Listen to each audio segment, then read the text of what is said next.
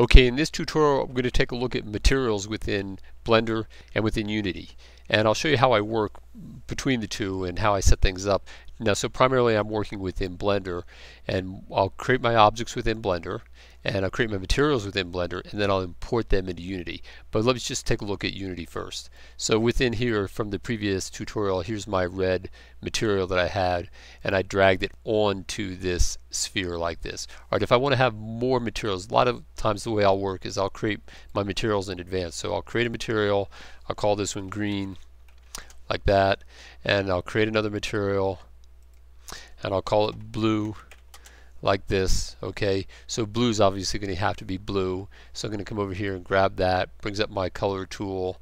I'll move it over here. I'll grab some blue color right? Same with this. There's there's green. Click that little box. Grab a green color. Like that. This tab allows you to look at different views of your colors like this if you like to select them differently. Okay and like that. So there I have my colors in advance. And then that way if I come up here and create more objects into the scene maybe I'll put a cube into the scene. There it is over here. I'll move that so I can just move it out of the way like that. And then with the cube selected I'll drag the blue onto the cube.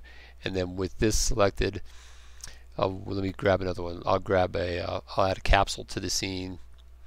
I'll move that over here. Yikes there it is. And then I'll just drag green onto that. So there it is. I've created my materials and I've quickly added them to the objects. Very simple, very nice. Unity is quite powerful. So, but within Blender, how I typically work otherwise is I'm typically always thinking about more than one material. So maybe this is my icosphere, but it'll be my icosphere building or something like that. So maybe I'll go into edit mode in here with face select active like this.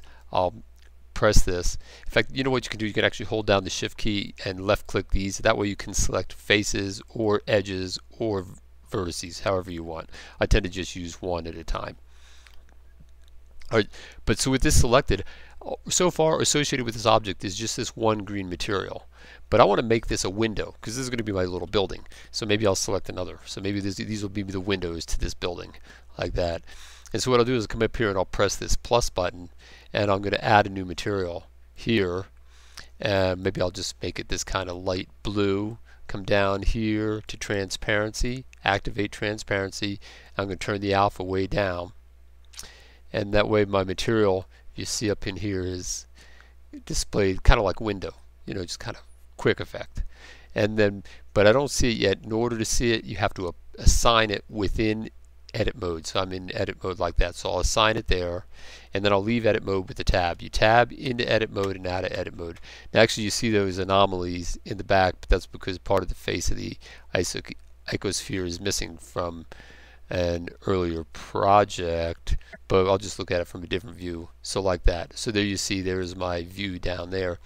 And if I was to import this object into Unity, then it would bring both those materials into the Unity environment. And I show that here in a couple videos from now. It's already posted, but I'll put it in the playlist. So that's the basics of adding materials in Unity and within Blender.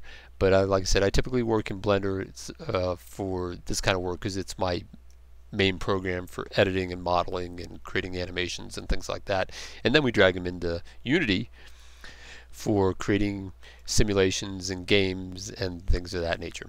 Alright, well so that in the next tutorial we're going to cover uh, the basics of the terrain. So, because when you start a project from scratch like this, I say file new project, it gives you the options of importing all these kind of packages. We'll start with the terrain assets and we'll start working with the basic terrain in here and it's pretty quite simple. Yes it is.